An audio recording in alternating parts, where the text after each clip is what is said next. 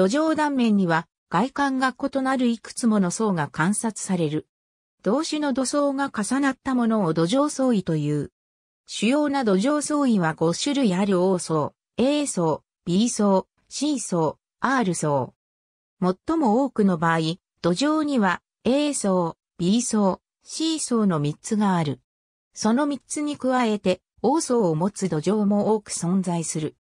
土壌層位には主要な5種類以外に例えば E 層があり、これは無機塩類が溶脱により失われている土壌である。土壌層位とは、一般的に畑や森などの土壌は一様ではなく、いくつかの土壌の層が水平に積み重なった形になっている。通常、土壌はその性質から3つまたは4つの層から成り立っている。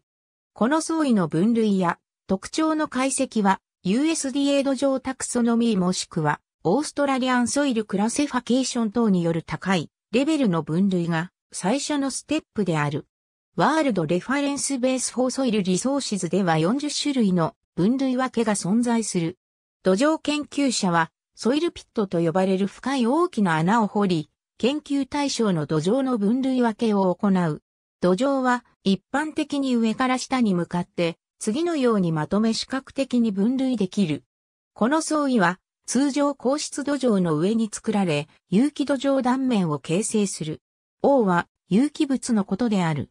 この層位は植物や動物の死骸や排泄物の分解物由来物質が多くを占める地表面層である。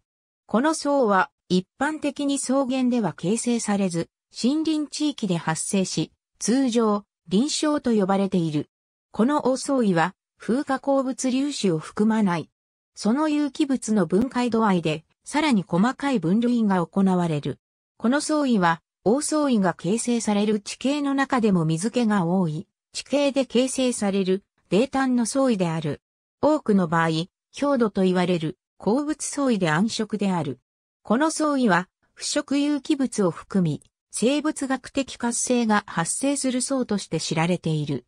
この層では、ミミズや心筋、節足動物、植物の根などが多く存在する。したがって、A 層位は、バイマントルと呼ばれる。しかしながら、生物学的活性はさらに深い土壌へ伸びるので、この相違だけの際立った特徴としてみなすことはできない。E は、 eluviated の略である。著しく粘土、鉄、アルミニウム酸化物が溶脱し、砂やシルトサイズの溶出しづらい石英などの層位である。A 層位と B 層位の間に形成され、上下の層より色が淡い色になる。一般的に森林の土壌で見られるが、草原などでも稀に生成される。E 層位の分類がない分類法では、特徴に応じて A もしくは B 層位に含まれる。歴が多い地形では、動物的な拡乱によって、イーソーイ周辺にストンレイヤーが形成される。これらの層は、ソルムと言われる。一般に、仮想度と呼ばれる。OAE 層のもとに位置し、上の層までで土壌の変化は十分に行われて、仮想度からは元の母材の特徴が見られる。湿気の多い地域では、計34年度、鉄及びアルミニウム酸化物、有機材料など物質が最も集積される層である。したがって、この層は集積層もしくは蓄積体とも呼ばれる。C 層位は B 層位よりも下に位置し、上からの土壌形成プロセスに影響されず、土壌学的な発展はなく、A 層と B 層などの土壌体とは関係性は薄い。